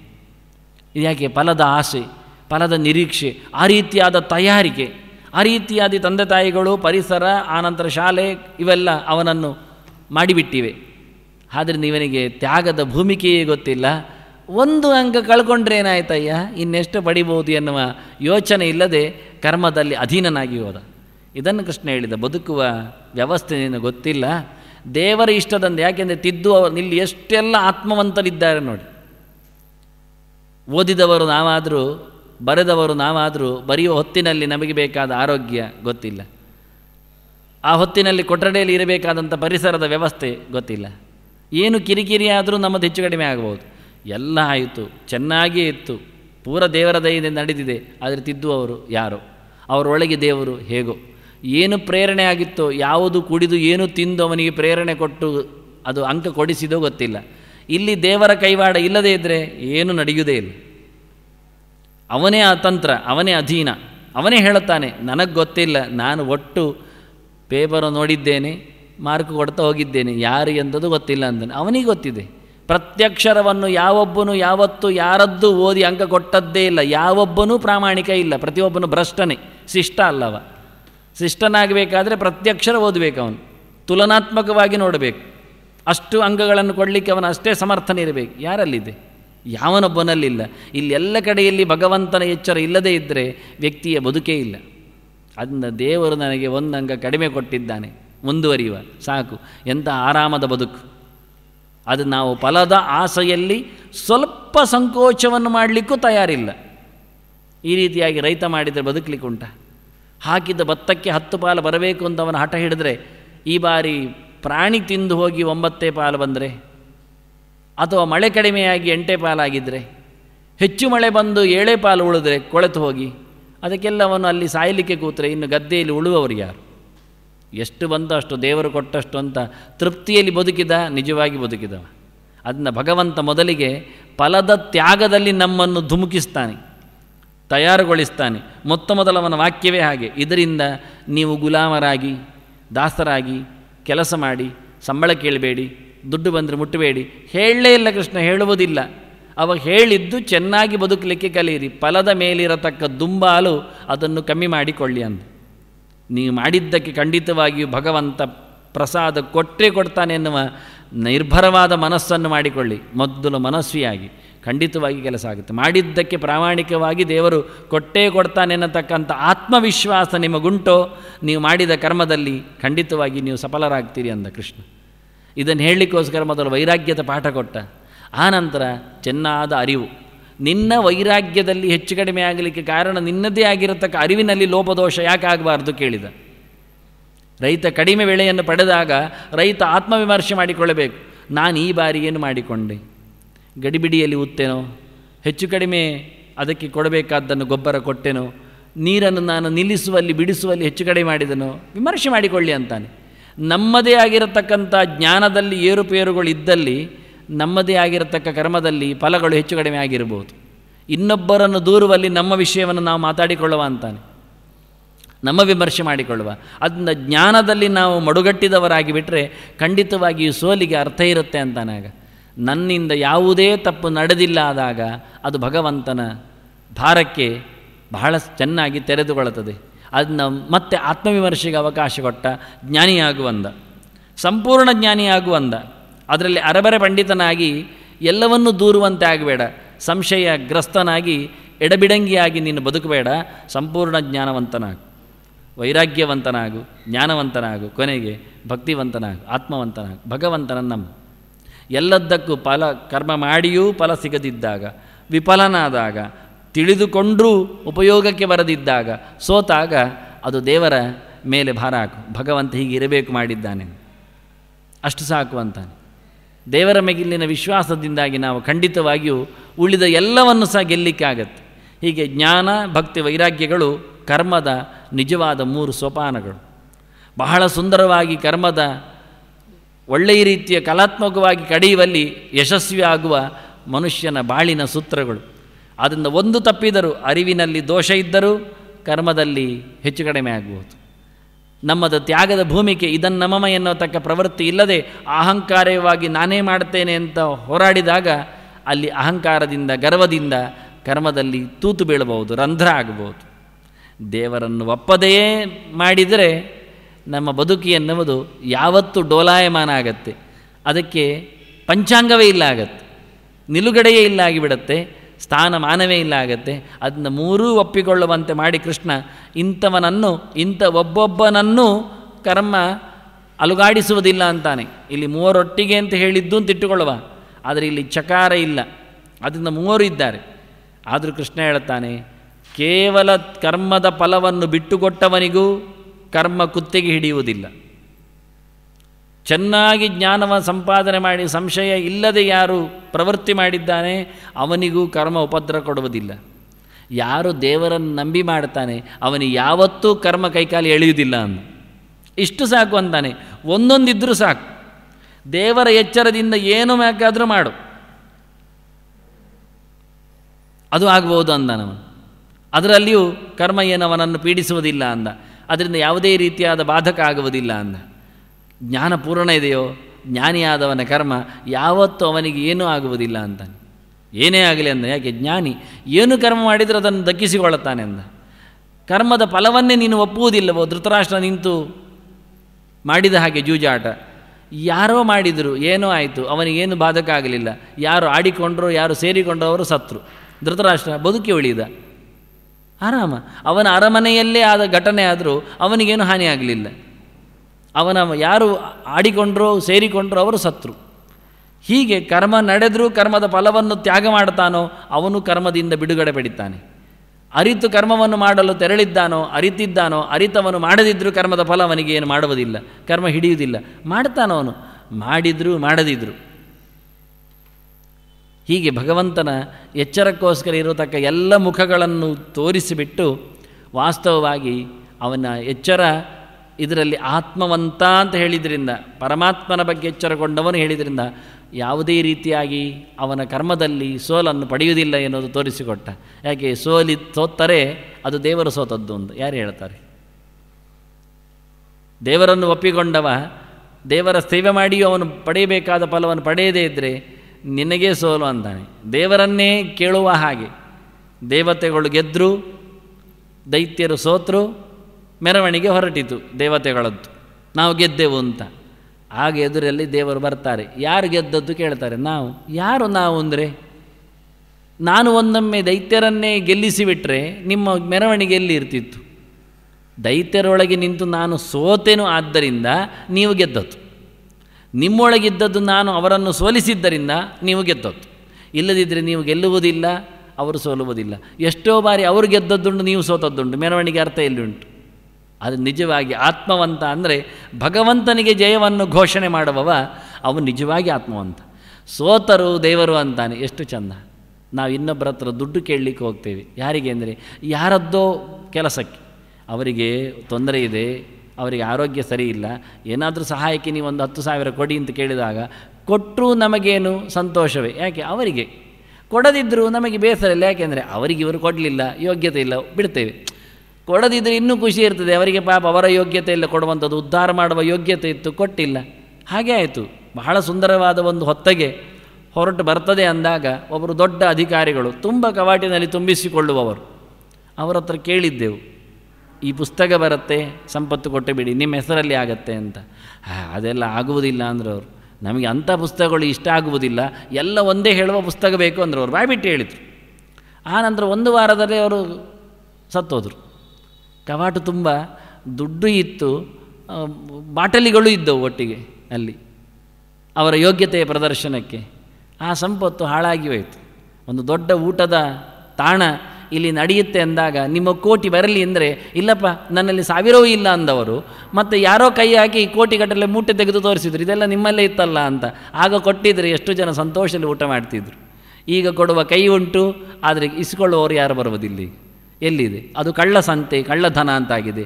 ಯಾರು ಮುಟ್ಲಿಕ್ಕೆ ಕೇಳುವುದಿಲ್ಲ, ಅದು ಕಪ್ಪಿ ಹಿಡಿತೆ ಅಂತ. ಅದು ಬಿಳಿಯಾಗಿದ್ದಾಗ ಎಲ್ಲರಿಗೂ ಇಷ್ಟ. ಹಾಗೆ ನಿಜವಾಗಿ ಆತ್ಮವಂತನಾದವನಿಗೆ ಯಾವ ಕರ್ಮವೂ ಮೆತ್ತಿಕೊಳ್ಳುವುದಿಲ್ಲ ಎನ್ನುವ ಬಹಳ ದೊಡ್ಡದಾದ ಕೃಷ್ಣ ಮಾತನ್ನು ಹೇಳಿದ. ಶ್ರೀಕೃಷ್ಣ ಅರ್ಪಣ